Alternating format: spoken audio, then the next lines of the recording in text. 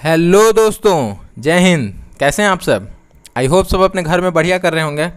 तो मैं आज दिन का दूसरा वीडियो लेकर आ गया हूँ, जिसमें अपडेट रहने वाला है आज पूरा टेक से रिलेटेड मतलब जॉब से रिलेटेड, इंटर्नशिप से रिलेटेड, जो भी गवर्नमेंट जॉब है, प्राइवेट जॉब है, वो सारा का सारा मैं अपडेट इस वीडियो में लेकर आ गया हूँ। तो आप वीडियो को पूरा एंड तक देखिए और आप अपने इस चैनल को न्यूटेक वर्ल्ड को आप सब्सक्राइब कर दीजिए। मैं इस चैनल पर डेली आपके लिए अपडेट लेकर आ रहा हूँ, जॉब से रिलेटेड अपडेट।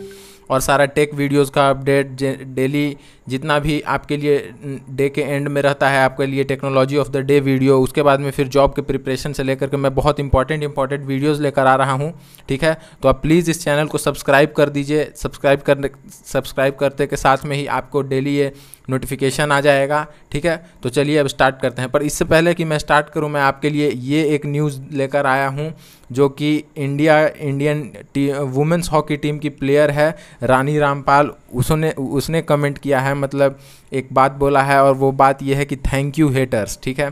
तो अगर आप अपने ज़िंदगी में कभी भी कभी भी अगर आप निराश हो रहे हो, कभी भी आप ये देख रहे होंगे कि नहीं, अब मुझसे नहीं होने वाला है, अब मैं इससे ज़्यादा नहीं कर सकता हूँ या कर सकती हूँ तो आप बस अपने उन हेटर्स को याद करना जो आपको ज़िंदगी में उससे नीचे करना चाहते हैं। ठीक है? मतलब जो चाहते हैं कि आप उससे भी नीचे हो जाएँ, आप हार जाएँ, आप बस उनको एक बार याद करना। फिर आपके मन में वो जो हौसला आएगा, जो मोटिवेशन आएगा, वो कोई भी काम करने के लिए बिल्कुल मतलब बहुत होगा कि आप अपने मंजिल तक पहुँच जाएँ। आप जो चाहते हैं, आप वो कर लेंगे। ठीक है? तो यहाँ पर आप देख सकते हैं कि जो रानी रामपाल है इंडियन वुमेंस हॉकी टीम की प्लेयर उसने ये कमेंट किया है कि थैंक यू हेटर्स ठीक है? ताकि मतलब वो जो एक क्रिटिसिज्म होता है उन उन लोग पर जो किया जाता है, जो उनके हेटर्स होते हैं, जो ऑनलाइन ऐसा करते हैं तो उन, उनको लिए इसने मतलब इन्होंने एक ये टर्म यूज़ किया थैंक यू हेटर्स तो चलिए मैं अब जॉब की बात करता हूँ। तो जॉब की बात करने पर मैं सबसे पहले गवर्नमेंट जॉब की बात कर रहा हूँ, ठीक है? बिहार स्टाफ सिलेक्शन कमीशन का जॉब आया हुआ है। नंबर ऑफ़ पोस्ट है 1505 पोस्ट है, ठीक है? और जो पोस्ट नेम है वो है असिस्टेंट उर्दू ट्रांसलेटर ठीक है? सहायक उर्दू नवयुवत, ठीक है? ये इसका जॉब एप्लीकेशन स्टार्ट हो गया है। जो लास्ट डेट है एप्लीकेशन का फ़ी पेमेंट के साथ में वो है 22 अगस्त और ऑनलाइन एप्लीकेशन सबमिट हो का मतलब 23 अगस्त तक, ठीक है? ये बिहार सरकार के अंडर में गवर्नमेंट जॉब रहने वाला है। आप इसका जो ऑफिशियल साइट है W dot online B S S C dot com आप उस पर ये चेक कर सकते हैं, ठीक है? तो अगर मैं बात करूँ पेपर की बात करूँ, जो मतलब क्या इसका प्रोसेस रहने वाला है, क्या काम आपको करने को मिलेगा, ठीक है? तो जो प्रोसेस होने वाला है, वो पेपर वन में आएगा आपका उर्दू ग्रामर, उर्दू समराइजेशन। क्योंकि मैं आपको बता दूँ कि ये जो पेपर है, ये जो जॉब पोस्ट है, पंद्रह सौ पाँच जो जॉब पोस्ट है, वो सारा का सारा पोस्ट उर्दू के लिए ही आया हुआ है। आप ऊपर का जॉब पोस्ट का नाम देख सकते हैं। आपका जो नाम लिखा हुआ है यहाँ पर यह है असिस्टेंट उर्दू ट्रांसलेटर, ठीक है? तो आप समझ सकते हैं कि ये उर्दू से रिलेटेड है तो इसमें पेपर में भी उर्दू ही पूछा जाएगा। पहला पहला पेपर जो है आपका उसमें उर्दू ग्रामर उर्दू समराइजेशन और ईजी राइटिंग रहेगा और जो दूसरा पेपर है उसमें ट्रांसलेशन होने वाला है। अगर मैं क्वालिफाइंग क्राइटेरिया की बात करूँ तो जो जनरल क्लास के लिए है वो है 40 परसेंट बैकवर्ड क्लास के लिए 36.5 परसेंट और ओबीसी क्लास के लिए 34 परसेंट और मैं एप्लीकेशन फ़ी की बात करूँ तो एप्लीकेशन फ़ी में जनरल बीसी ईबीसी मतलब ईबीसी आप समझ सकते हैं जो बैकवर्ड क्लास हो गए हैं और ये एक्स्ट्रा जो बैकवर्ड क्लास हो गए हैं वो है ठीक है? तो उनके लिए साढ़े सात सौ रुपये एस सी के लिए दो सौ रुपये और जो फीमेल कैंडिडेट हैं या मेल कैंडिडेट है जो स्टेट के बाहर के हैं, ठीक है? मतलब बिहार के नहीं हैं, जो आउट ऑफ़ बिहार के हैं, उनका है साढ़े सात सौ रुपये और जो भी डिस डिसेबल कैंडिडेट हैं, ठीक है?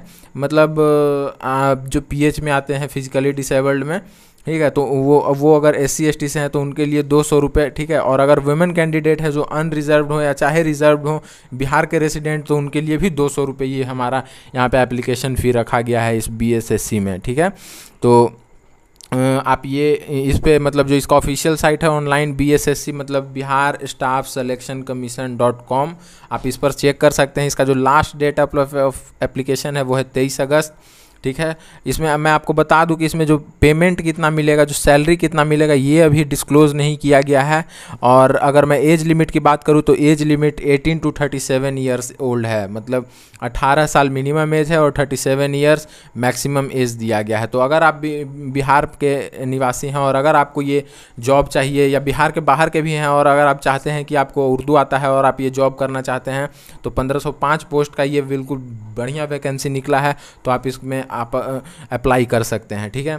तो अगर मैं दूसरे पोस्ट की बात करूँ तो दूसरा हमारे पास में बैंक जॉब है। बैंक से रिलेटेड जो ये जॉब है, वो है आईडीबीआई बैंक का, और इसका जो पोस्ट है, वो है एग्जीक्यूटिव पोस्ट के लिए ये जॉब निकला हुआ है।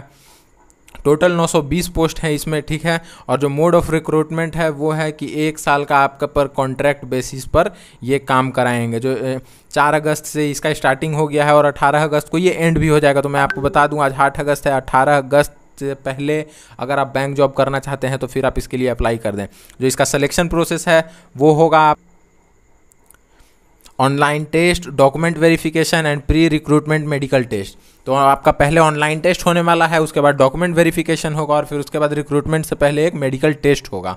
तो ये आईडीबीआई बैंक के लिए है टोटल 920 पोस्ट पर आप देख सकते हैं। अगर मैं सैलरी की बात करूँ तो फ़र्स्ट ईयर में आपका सैलरी ट्वेंटी रहने वाला है।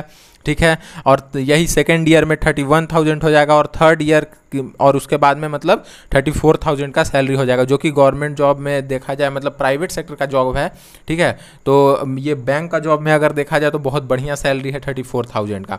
जो अगर मैं मिनिमम एज की बात करूँ तो मिनिमम एज ट्वेंटी ईयर्स है और maximum age twenty five years है, ठीक है? इसमें आप एप्लीकेशन का जो भी एप्लीकेंट अप्लाई करने वाले हैं, आप उनका देख सकते हैं कि सेकेंड जुलाई 1996 से पहले मतलब ये आपका क्राइटेरिया यहाँ पे दिया हुआ है। आप बस ऐसे आप अपना क्राइटेरिया सेट कर लीजिए कि 20 इयर्स मिनिमम है और 25 इयर्स मैक्सिमम है।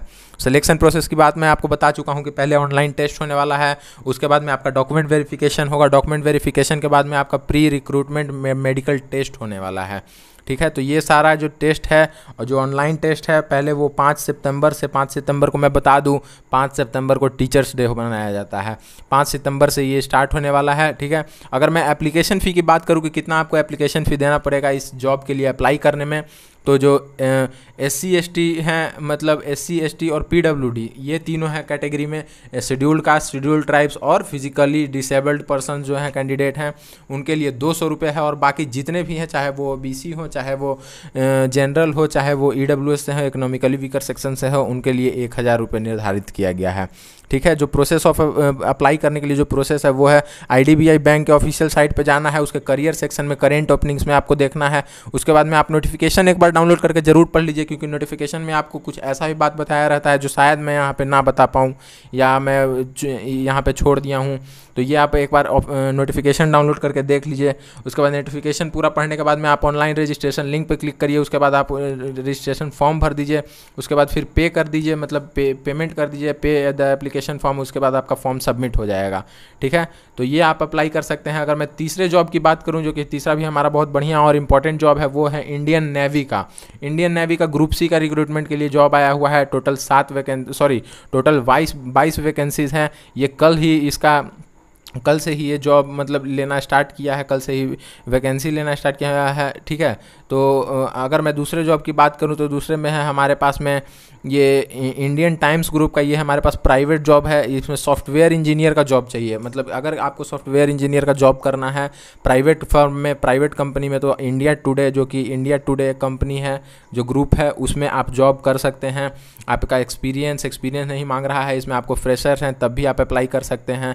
जो एप्लीकेशन मोड है, वो ऑनलाइन ही होगा एप्लीकेशन मोड ठीक है?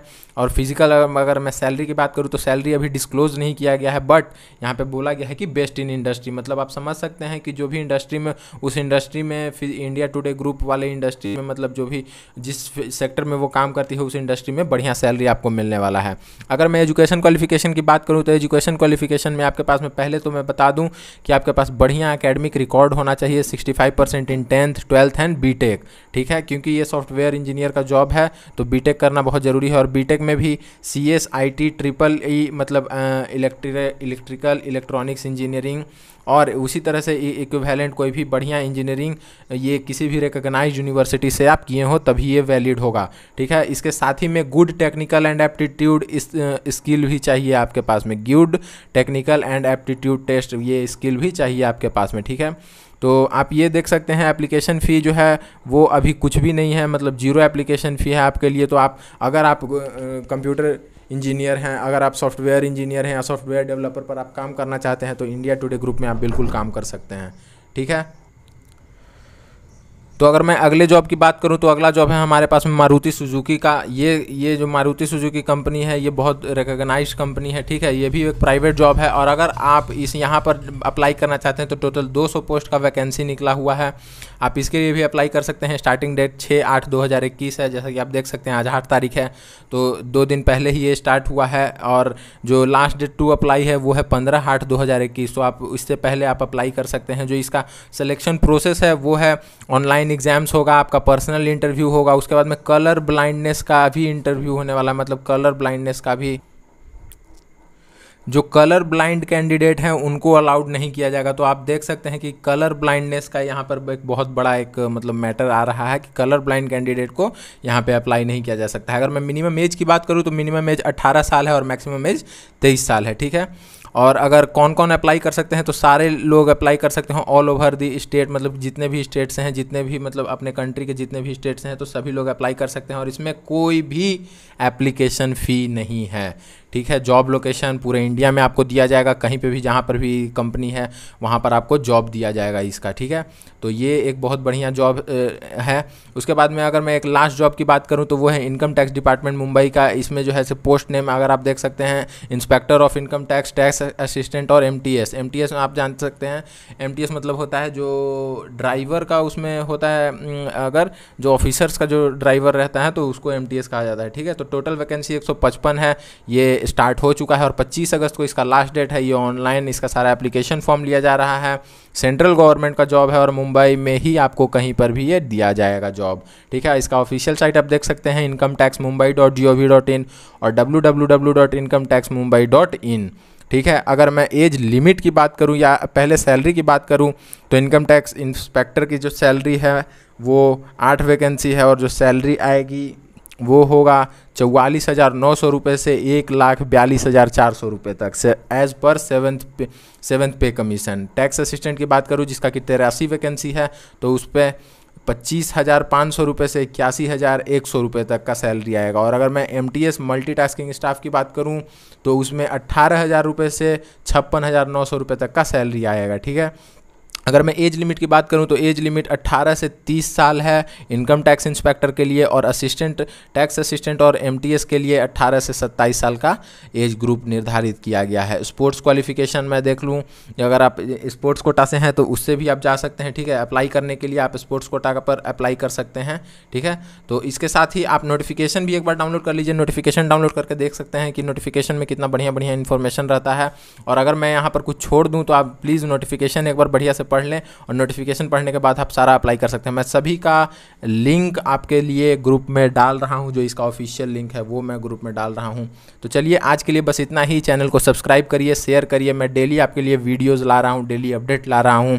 जॉब से रिलेटेड अपडेट कोई भी कंपनी का जो कैसे एग्ज़ाम होता है, कैसे प्रोसेस किया जाता है, कैसे पूरा पूरा का पूरा प्रिपरेशन वीडियो जो सारा टेक्नोलॉजी ऑफ़ द डे रहता है, वो भी लेकर आता हूँ। तो प्लीज़ आप इस चैनल को सब्सक्राइब करिए और ढेर सारा प्यार बरसाइए। Thank you thank you all